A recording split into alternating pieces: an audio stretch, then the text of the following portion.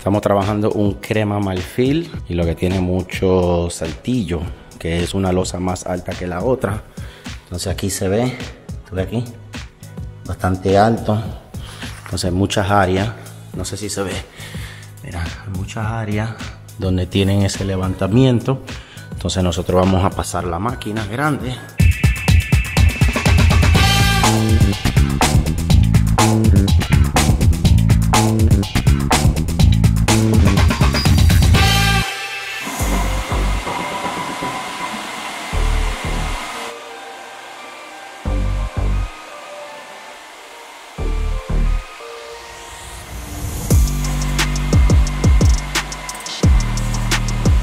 ya nosotros devastamos la sala, cocina. Esta es la otra área del comedor. Entonces falta acá atrás. Pero tuve que está bastante alto el saltillo. Mira, eso tiene saltillos altísimos. Mira. Cosa fuera de, de lo normal. Es un trabajo que no es común, pero nosotros decidimos hacerlo. Devastar el piso, rellenar todos los huecos y venas y hacer un trabajo espectacular. El cliente quiere instalar el rodapié, entonces yo estoy haciendo las orillas hoy con los pasos 1, 2, 3 para que entonces puedan instalar la, el rodapié antes de que el piso esté terminado.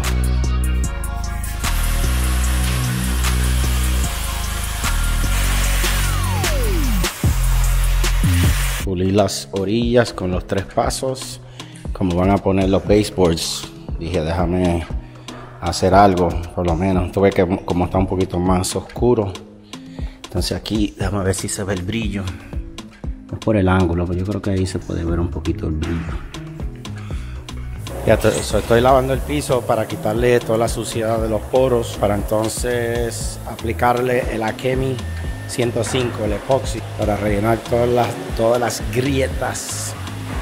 ahora lo que voy a hacer es todo lo que tiene cinta azul, es porque tiene huecos grandes. Voy a rellenar los huecos grandes, primero con la resina. mira, todo eso que está ahí, eso es bastante grande, entonces el Akepox 1005 no lo va a rellenar. El 1005 solamente va a rellenar las fisuras finas los huecos finos. Pero este esto que está aquí está grande. Eso tengo que rellenarlo primero. Esta es la resina que voy a utilizar, que es el Buff Knife Grade, que es color crema, para rellenar todos los huecos.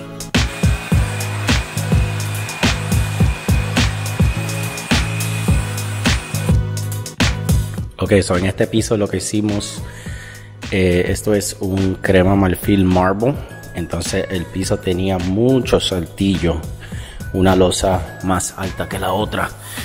Entonces tuvimos que pasarle un metal 40, tuve que ya no tiene nada de saltillo, mira cómo está, completamente liso, nada de saltillo. En hacer eso, eso abre todas las venas. Para reparar eso, tiene que usar el producto de Akemi que se llama 1005, Akepox 1005.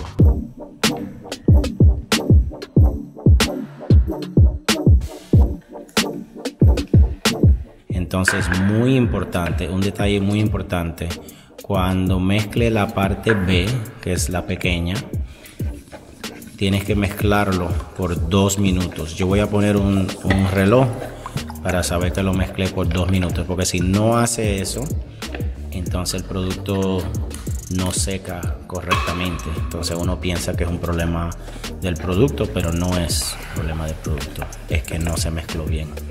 So hazlo. Gracias.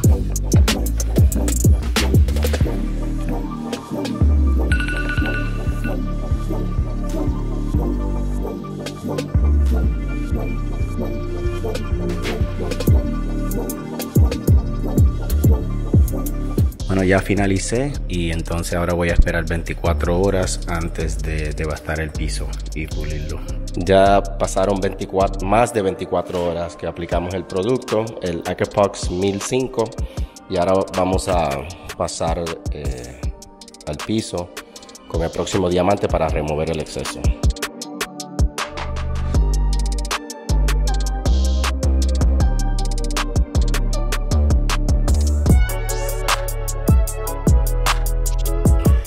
Tuve que ir al mundo de concreto que es en Las Vegas. So no pude finalizar el trabajo, dejé los muchachos trabajando y cuando regresé ya todo básicamente estaba listo. Pero tuve que el piso está completamente plano, no tiene nada de, de saltillo. Las venas están rellenas, todos los huecos están rellenos y el piso está bastante brilloso. Y así, nosotros le dimos diamante hasta 800 y después el polvo de pulir.